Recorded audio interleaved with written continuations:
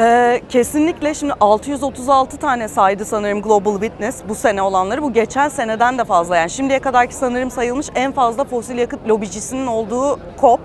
Ee, iklim krizinden en çok etkilenen 10 ülkenin toplam delegasyonlarından fazla fosil yakıt lobicisi var şu an burada. İşte Kanada delegasyonundalar, Amerika delegasyonundalar, Rusya delegasyonundalar. Ee, hatta utanmadan e, dronlar, paraşütler uçuruyorlar, reklamlarını yapıyorlar e, bu lobiler.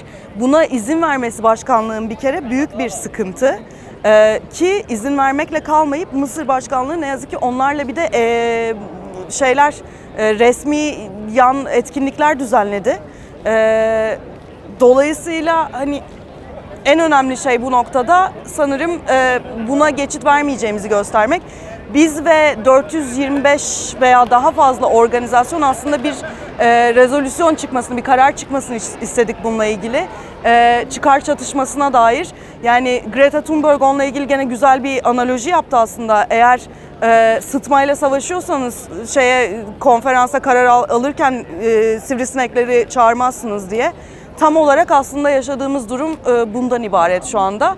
E, izin vermemek ve mahal vermemek gerekiyor. E, şu anda da onların bu yeşil yıkama dediğimiz şeyi yapmalarına işte gazı sanki bir geçiş enerjisi olabilirmiş gibi köprü enerjisi kaynağı olabilirmiş gibi göstermelerine izin vermemek için şu anda bütün sivil toplum toplanmış durumda. Buna karşı mücadele ediyor.